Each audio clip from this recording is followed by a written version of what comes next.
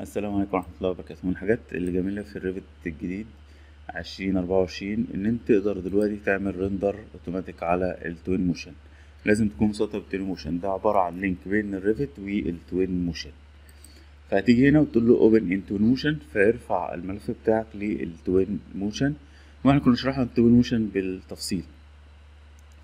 في auto sync بحيث لو حصل أي تعديل يبدأ إن أنت تبدأ تنقل بدل كل شوية تصدر لل Twinmotion. أصبح الاتنين يعني مرتبطين مع بعض مع العلم إن Autodesk مش Twinmotion. Twinmotion لسه تبع شركة Epic اللي هي عاملة ال Unreal. لكن الجميل إن بقى في تعاون بينهم وفي ربط بينهم. وتقدر تعمل export للملف ده على ال Datasmith فتقدر تفتح على Twinmotion على جهاز آخر مثلا وكذلك ال Unreal.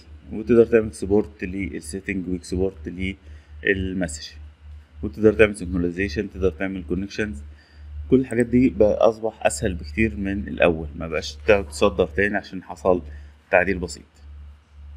فنلاقي فتح ال Twinmotion وبدأ يظهر معانا بالشكل دوت. هسيب لكم شرح ال Twinmotion تمام؟ وإن شاء الله برضو نعيد شرحه تاني بال على الإصدار الجديد.